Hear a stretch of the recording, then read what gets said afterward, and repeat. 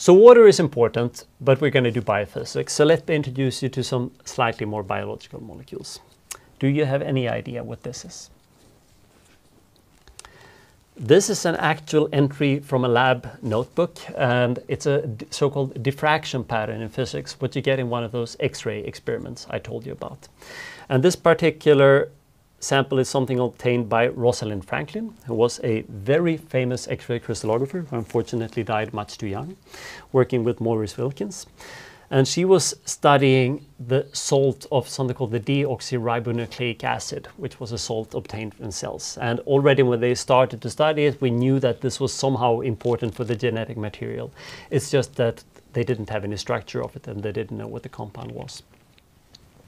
Already Rosalind Franklin managed to determine that if you're looking at this you're a skilled X-ray crystallographer, the pattern here and the angles between these two dot species means that you can deduce that this molecule must be helical. Uh, but that doesn't really tell us a whole lot. Uh, we're going to have tons of atoms in this molecule. It's a large molecule, and this is pretty much all you have to go. So several very smart groups spent a few years trying to go after this problem and understanding, see if we can use this to determine the structure. There were quite a few models being proposed because the only way you can't take this pattern, today we might be able to do it and almost put this in a computer, but in the 1950s you couldn't. So the only thing we can then do is use pen and paper or build a physical model and then have an idea, I think DNA might look this way. And if DNA were to look this way, if I shine electrons on, sorry, if I shine photons on it with a synchrotron, what kind of diffraction pattern would that give rise to? And is that diffraction pattern I then get compatible with this one, which is the actual experimental diffraction pattern? The only problem is that that's say an underdetermined problem. Um, so there were some very interesting models. This is a model that has the backbone of DNA in the middle of some kind of like spiral staircase, and then the bases of DNA pointing out, and it would be a triplet of uh, a triple helix.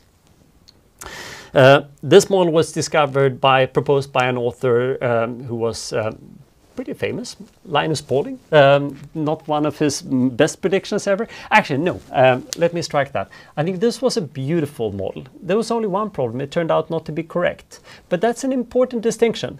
It is a model that fulfilled most of those things. It was largely compatible with this data.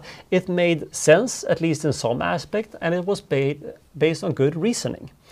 Now, when this turned out to be wrong, Linus Pauling should have full credit because he was the first one to realize, you know, on second thought, there are better models than mine. And if you're going to be a good scientist, don't hesitate making predictions, but it's important that you don't fall in love with your model. And that's why I really like using Linus Pauling as a role model here, because he was he gave up his model the second he realized there's somebody else's model who's better.